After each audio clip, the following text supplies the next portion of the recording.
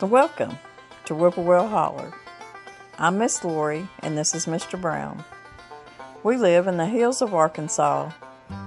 We love the Lord. Keepers of the old way, but accept some of the new. We love to cook, and we love to eat. We love to garden. It's in our blood. It's how we stay sustainable and fill our pantry. We do a lot of canning and preserving. We live a sustainable life. We love our family. We work hard. And every once in a while, we like to dance. So, y'all join us. You know, I have made thousands of hot rolls in my lifetime. Working in a school cafeteria, we used to make hot rolls twice a week. And we made big batches. And I've made tons of hot rolls for the family. And this is one of the recipes that I go to sometimes. This is a recipe that um, I think if you're if you're just stressed for time and you want to make it just a little bit easier on yourself, but you want to make some homemade yeast rolls. These spoon rolls are some of the very best, in my opinion. And um, there is yeast in them, and I do use self rising flour. And you don't have to use self rising flour, but I do because it just seems to put out a better product. So I'm sure that you probably have everything you need for these rolls and um, they're going to sit in the refrigerator overnight. You can make them ahead of time as far as probably three days ahead of your Thanksgiving dinner. You can make this uh, this dough up and uh, this uh, hot roll dough up and put it in your refrigerator and let it cover it up. And uh, you need to let it sit at least overnight. And um, if not two or three days before. So you got it all whipped up and you got it ready. All you got to do the next day or next couple of days when Thanksgiving gets here or Christmas or whatever, you've already got it done. You take it out of the refrigerator, put these lovely hot rolls in your muffin pans, and uh, they cook up really good. So let's get started on our easy spoon yeast hot rolls. Y'all really to love this recipe and you're to absolutely love the rolls. Okay, let's talk about our ingredients. We got a fourth a teaspoon of salt, a fourth a cup of sugar, got uh, six tablespoons of melted butter, one and a half teaspoons of active yeast, one egg, and four cups of self-rising flour. And that's all it's going to take to make these delicious hot rolls. Okay, we're going to start out by mixing our dry ingredients together. I like using self-rising flour for these rolls. I think it just gives them a really good texture. We got a fourth of a teaspoon of salt. And I'm going to put a fourth a cup of sugar in here. Now, a fourth a cup of sugar is not going to make these rolls sweet at all. So don't think that this is going to be a really sweet roll because it just doesn't give it a really big sweetness to it.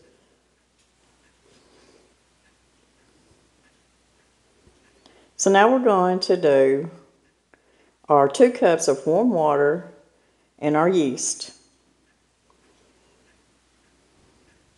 And I'm just going to sprinkle probably a half a teaspoon of sugar over that yeast. And what that does, it just feeds it and uh,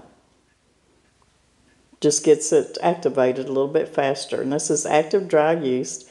You can use um, the instant um, rapid rise if you want to, because either one's going to work. I'm going to let this sit about five minutes. Okay, we're going to take our, our yeast mix mixture, pour it into our dry, We're going to put our egg. And you'll be able to mix this by hand, but you can do it with a mixer if you want to. This dough is going to be pretty loose, so you could mix this actually with just a paddle on your mixer. But even with my my my hands, uh, my arthritic hands, I can mix this up pretty easy with my um, dough mixer here. Now I've got six tablespoons of melted butter and that does look and sound like a lot.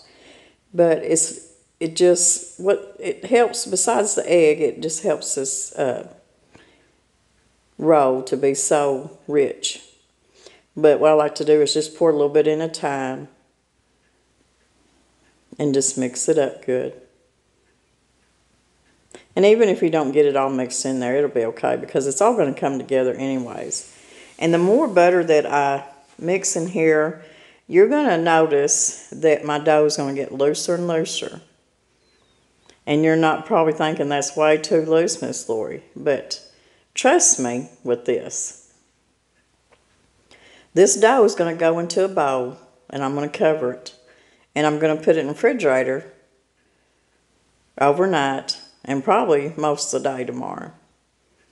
This can be kept in the refrigerator for as much as three or four days. I'd give it three days myself. The next day, you're going to get your bowl out and you're going to lift that lid and you're going to see that that dough, it did, it, it, it rose good and it got thicker. It's not as loose as it was, but the dough is going to make a lot tender, um, fluffier roll. If you were to make this up and your dough was real dense, real thick, you put it in the refrigerator. Next day you get it out and you try to put them in your muffin pans and the dough was just really thick. You're going to have a heavy, dense roll. I've seen people do that with the same recipe. So trust me with this. You want it loose, just like this. And we'll put it in another bowl and cover it up. Okay, I'm just going to pour this into my my bowl that's going to have a lid. If you don't have a bowl with a lid, just uh, put plastic wrap over the top. I'm going to get my spatula and I'm going to scrape out the rest of this dough out of my bowl. But you can see how loose it is, and that's the way you want it.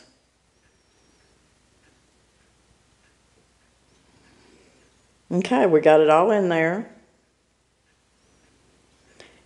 I'm just going to put the lid on it, and you want a big enough bowl because it is going to proof. It is going to, your dough is going to rise. It's going to proof in there in the refrigerator. And I'm just going to put it in there overnight. And tomorrow when I come in from work, we'll make us some some hot rolls. And I've got some different different versions of rolls that I'm wanting to make. But these are some of the best spoon rolls. Well, it's been 24 hours later, and we're going to take the lid off our bowl. You can see how it, it rose, the dough rose, and it's thickened up just like I wanted it to. We got our muffin pan over here and it's sprayed really good. I've got my oven preheating to 350. Now you can use a big cookie scoop to scoop this out and put it in your muffin pan. I'm using, this is a muffin scoop. This is what you use to put batter in muffin pans when you're making muffins. I'm just going to use that and I sprayed it with my olive oil spray. You want to fill your muffin pans about three-fourths full. I got that one a little bit full, but we're gonna we're gonna try this again. Three-fourths full. It don't really matter. They're gonna cook up the same, I guess. I'm going to try several different versions of these muffin, these spoon rolls, I mean, not muffins. Uh, I'm going to do a couple little twists to them and see which one I like the best. I absolutely love this recipe. This has been a go-to yeast, yeast roll recipe for me for so many years because I can come back to this recipe and it has helped me through so many potlucks, dinners for the family, you name it. It has really helped me out. Because um, you don't always have time for your homemade hot rolls. And I have made thousands of them. But I tell you, sometimes a person just needs a little bit of help. And you can't go wrong with this recipe. And y'all seen why I made my dough so loose because I know it's going to thicken up. And now it's just the right consistent, consistency to make a really good, light, fluffy roll. And you can make these any size you want to. You can even make little mini uh, spoon rolls if you want to. So I'm going to get these in the oven here in a minute. I think what I'm going to do is I'm going to brush some butter on half of these. I'm going to leave half plain. I'm going to brush the other half maybe with some butter and then sprinkle some everything bagel over the top. I think that'll be good. We'll try that. And I'll leave these other six plain. I'm just wanting to try uh, just a few different ways of doing this. Everything bagel.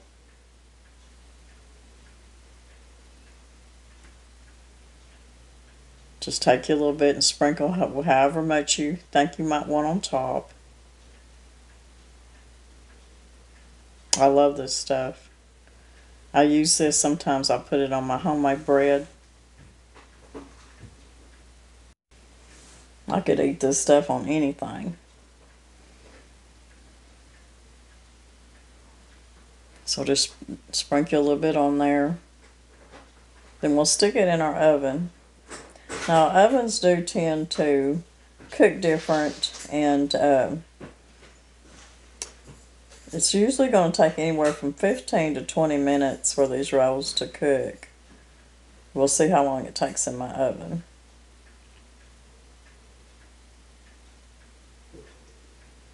Okay, it took about 18 minutes. And these are done. The regular rolls aren't real, real uh, brown on top, but they are done. Uh, you just have to be careful because if you try to get them too brown on top, they're too brown, they're too dark on the bottom. So you just look around the edge, and when you see that the edge of your spoon roll is starting to get golden brown, and you can touch the top, and it springs back, you know they're done.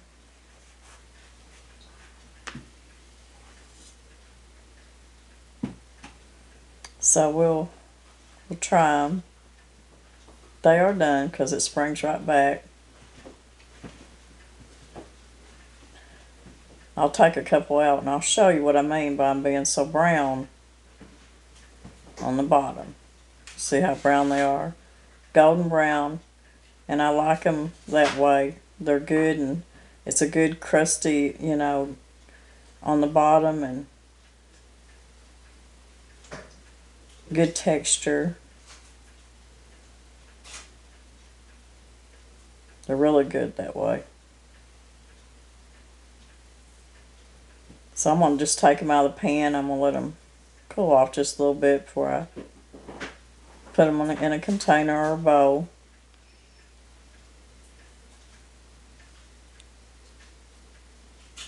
These are really, really hot, burning my fingers.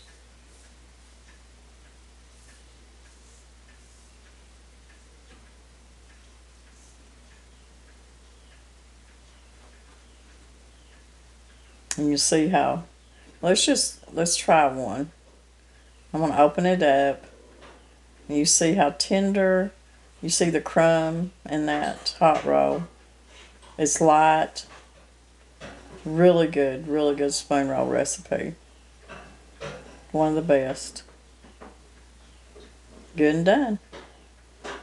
And delicious. Can't go wrong with this recipe. So let's get the rest of our rolls in the oven.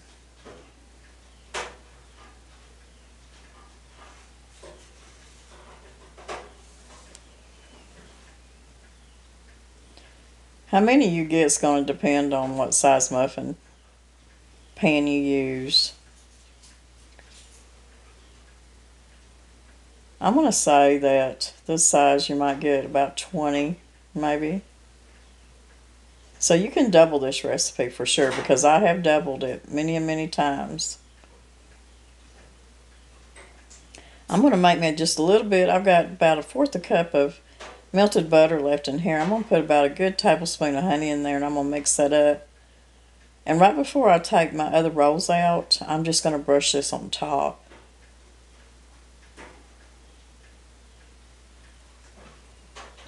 That'll give it just that little bit of sweetness on top and uh, make it just a little bit more golden brown too.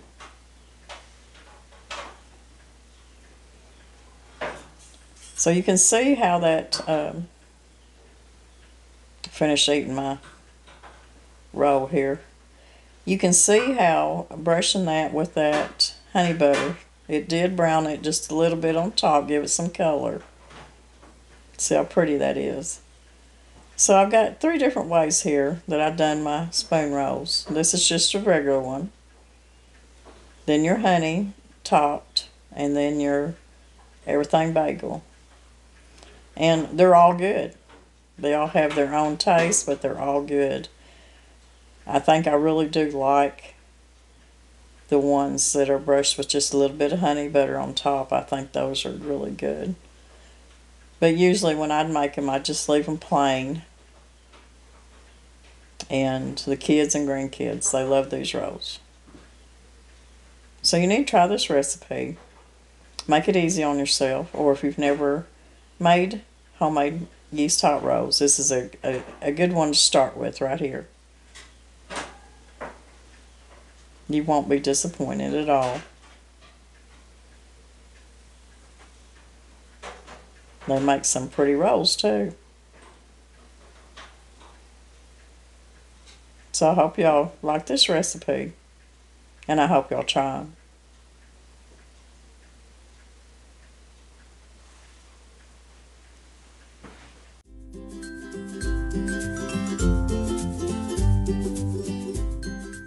Well, I hope y'all enjoyed this recipe. You cannot go wrong with these rolls. You've seen how easy it was. You've seen how tender these rolls turn out. The crumb, you can see how beautiful the crumb is in there. This is the one that um, I put that honey butter on. It is so good. So if you want to make it easy on yourself, or you've never made hot rolls before and you're really wanting to do it this year, make this recipe. You're going to love them. This is a recipe that a lot of times uh, when I would have all the kids over on Sunday dinner, this was one of the recipes I'd go to because I could whip it up the night before. And when we get in from church, I could throw them in the oven. They'd be ready in no time. And you've got some good uh, yeast hot rolls. So if you like this recipe, give me a thumbs up. Share the recipe with your friends. Make you some. Make it easy on yourself. Make it easy on yourself this year. And I've got some more recipes coming. Some some different recipes for the holiday table. We're going to be doing some, uh, maybe a main dish or so, maybe a couple more side dishes, um, desserts, and maybe some appetizers. And even if we may just carry this on into the Christmas holidays and just keep it going with candy and everything else. So I hope you enjoyed this. Mr. Brown's not here to taste it, but I know when he gets in, he's going to uh, put a slab of butter on some of that and he's going to eat him a, a good old hot roll. So happy holidays, everybody. We'll be back in a couple days with another recipe. We love y'all and God bless.